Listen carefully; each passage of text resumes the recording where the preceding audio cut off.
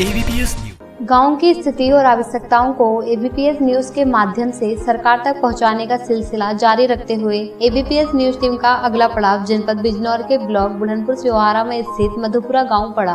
वर्तमान में गाँव के प्रधान नरेश कुमार हैं। ग्राम प्रधान नरेश कुमार को ग्रामवासियों ने अपना प्रधान चुनकर उन्हें गाँव के विकास की बागडोर सौंपी है। लगभग 3500 की आबादी वाली यह ग्राम पंचायत जिला मुख्यालय से 50 किलोमीटर दूर तो वहीं ब्लॉक से इस गाँव की दूरी मात्र 8 किलोमीटर ही है। लगभग 1400 वोटर वाला यह गाँव विकास के पथ पर अग्रसित है। गाँव में लगभग 350 राशन कार्ड धारक हैं। बात अगर शिक्षा के स्तर की की जाए तो गाँव के प्राइमरी स्कूल में लगभग 50 छात्र छात्राएँ अध्ययनरत हैं।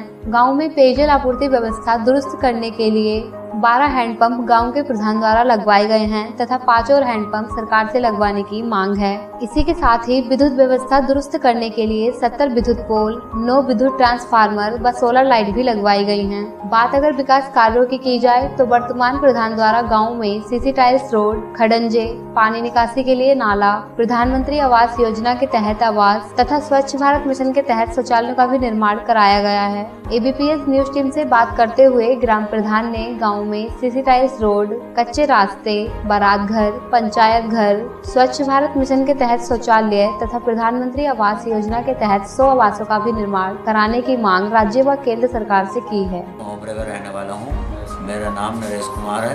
जो भी केंद्र सरकार ने मुझे धन दिया है वो मैंने सही तरीके से लगाया है और मैं अपील करता हूँ मुझे और भी धन दे जिससे मैं और विकास बढ़िया करके विकास करूँ विकास के जो हमारे गाँव के प्रधान जी नरेश कुमार जी, उन्होंने बढ़िया काम करा और भी केंद्र सरकार से हाथ जोड़ के विनती है कि और धन हमारे प्रधान जी मिले और जैसे हमारे प्रधान जी विकास बहुत ज़्यादा करें